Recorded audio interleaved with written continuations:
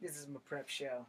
So some young man on TikTok did an interesting thing. He combined, um, he didn't do it, but I'm about to do it. So thank you, young man. But he combined um, "It's Raining Men" with "Let the Bodies Hit the Floor." So I don't know all the words to "It's Raining Men." I know most of the words to "Let the Bodies Hit the Floor." So I'm going to attempt to combine those songs to see if that dude is correct. Your job here on Instagram, goddamn, not even on Instagram. Your job here on YouTube is to see if you guys like it. Now, as you all know, I am a horrible ass singer, so your ears are probably going to bleed. But since we got that part out of the way, I guess the indoctrination of your ears is no longer going to be your concern. So, as you know, like I said, I can't sing worth shit, but I'm going to do this thing.